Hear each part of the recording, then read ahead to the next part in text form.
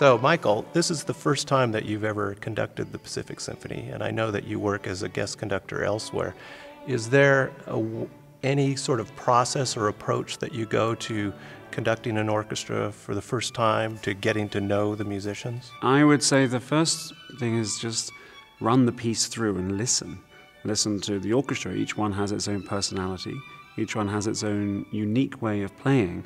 And as a guest conductor, you're here to, to shape what is already there, as opposed to try to mold it as you can more as a music director. So, is your approach to play more first, then then talk later, or or does it go hand in hand? I've always found it helpful as a musician in an orchestra to play through an entire piece. Yes. It's to get a sense of it, also to see, because what you see on the page is not always a, an accurate reflection of what is the most challenging bits as a bass player, you could see all these sort of black notes going very fast, and actually it's the one pizzicato that you need to get right. Right. So I found it very helpful, and I tried to always use that process myself as a conductor. Have you ever worked with Ray Chen before? No.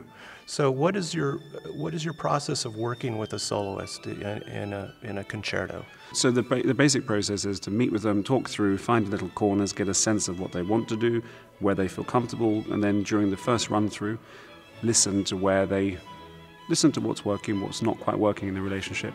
It's not, um, it's, it's really just facilitation. Well, thank you so much for talking to us, Mike. Great pleasure. Thank you, Duncan.